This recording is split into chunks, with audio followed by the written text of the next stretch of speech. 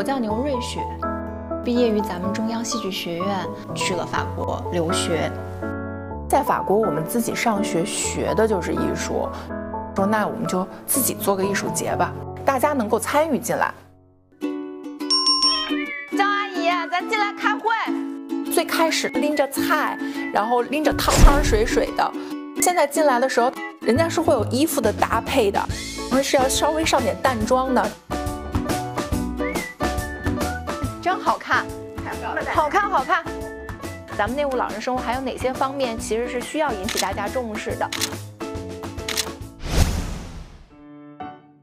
这个片区它多数都是老龄人口，他们就对我们做了好几次的邀请，说我们有没有可能就专门做一个对公共文化升级这样子的一个实验基地，就是精神层面上，就是文化需求层面上，让老年这个阶段觉得既充足，然后他们又有他们的价值体现。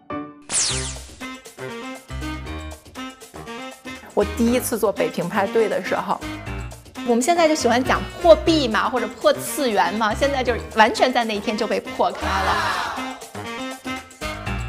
他觉得他跟你玩的时候太有意思了。那个阿姨用最普通的马克杯，用最普通的医用纱布，然后自己就手摇做的那个磨好的咖啡粉，用暖水瓶。给我们泡了一杯他自己做的、他认知里面的手冲咖啡。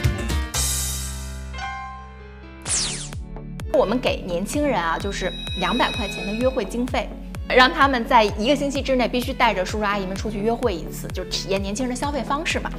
我们又要求老人家就是找出来一套他年轻时候穿的衣服。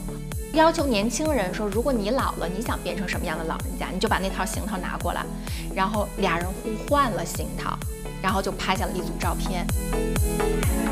特别朋克范儿的那个劲儿的姑娘，这没人认领嘛，这个阿姨呢就把她给认领走了。后来俩人关系特别好，她说找到了一个没有血缘关系的亲人。